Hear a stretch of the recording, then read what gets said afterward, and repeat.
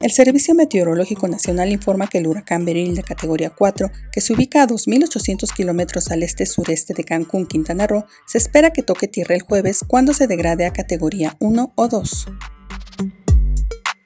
José Raúl Mulino asume como presidente de Panamá con la promesa de frenar con ayuda de Estados Unidos el paso de migrantes por la peligrosa selva del Darién y reanimar la economía panameña dependiente del canal interoceánico.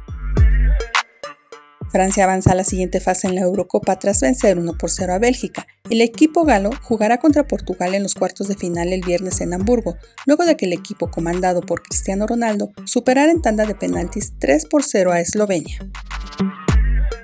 Pearl Jam cancela sus conciertos en Berlín por motivos de salud. A través de un comunicado en sus redes sociales, la banda informa que a pesar de todos los esfuerzos, aún no se recuperan completamente. Cabe recordar que Eddie Vedder, vocalista de la agrupación, presentó problemas durante los conciertos realizados en Manchester.